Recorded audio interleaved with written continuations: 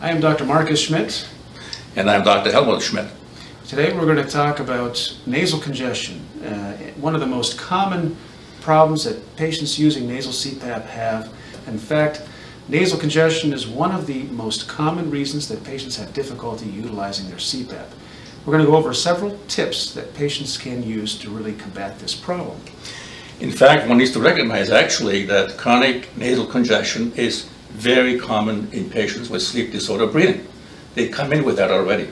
So this is something that needs to be addressed right off the, right off the bat. And some of those patients may actually do better with CPAP once they get on CPAP with their nasal congestion. Exactly. I find that the vast majority of patients, if hum humidification is used properly, and often it is not, uh, they can do very well with, uh, with uh, the nasal problems, with no nasal congestion, and uh, don't have to run to the, to the ear, nose, throat specialist right away. Wait until the CPAP is adjusted properly and you got the proper humidification and how to use that. I think that's the first point, is really maximizing the humidification. I tell my patients to utilize the humidifier and to know how to change the humidification setting. A lot of patients have absolutely no idea how to do that. They get the CPAP from the home care company and no one's really gone over that with them. And it's very important that the patient is taught how to, how to recognize that, to, how to change it, how to adjust it, summer versus winter. It's not unusual at all that I find that patients who develop a bad cold, they actually stop using CPAP.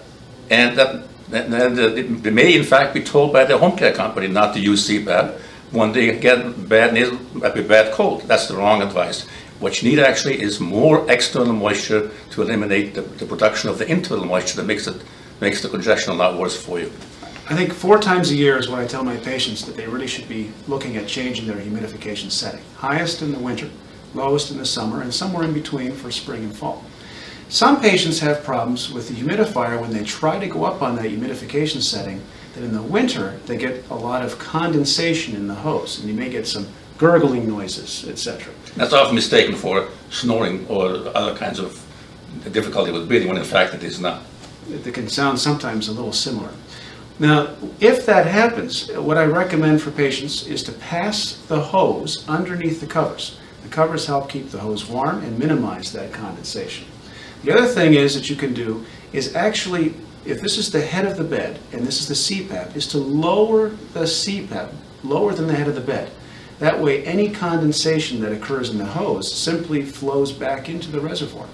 If there's condensation in the, in the hose, it needs to be able to run downhill.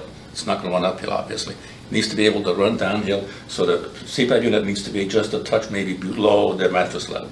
That's right, yes. Not on the floor. I think there's, if there's dust around, it's going to be more likely to be on the floor and you're going to suck that in. You don't want that. Some of our patients, we have them use what's called a cozy. The home care company has that. It's a little cloth that goes around the hose. It's got a Velcro along the, the, the hose itself, keeps it in place. Some people use that. That's another potential option. Uh, and finally, if nasal congestion, in spite of all these interventions, still continues to be a problem, some patients may need to get a nasal spray, such as a steroidal nasal spray. I really recommend not using the over-the-counter uh, Afrin type nasal sprays because that can actually, using that more than three days in a row, can actually make the problem worse. Uh, I think that's about the extent of the. Anything else you'd like to recommend? Well, again, I want to emphasize that you don't need to get an ENT evaluation right away for that. Let the, let the humidification process work for you, and you may find out, and more often than not, in my experience, the vast majority of the time, it actually works very well, and the patient does not have any, any, any problem with congestion or runny nose. If you have runny nose, sneezing, bleeding, congestion, stuffiness, all these things indicate you need more external moisture, and you, you've got to be able to provide that. And if everything's going well, with no problems with congestion or dryness, then you can turn down the humidification. I think if all of these things fail, you know, some patients may require uh, seeing an ear, nose, and throat physician, but that should be the exception. The other thing to remember that if you max it out, put it up all the way, it's not going to hurt you. Some people think that you're going to get more bacteria because of this being blown into your. The bacteria are not carried with the with the fine droplets that the, that the moisture comes in. There is no danger of, of having any lung problems or other kinds of damage done to you if you max it out. It may get a little moist around the nasal area, but it's not going to hurt you. I hope that was helpful.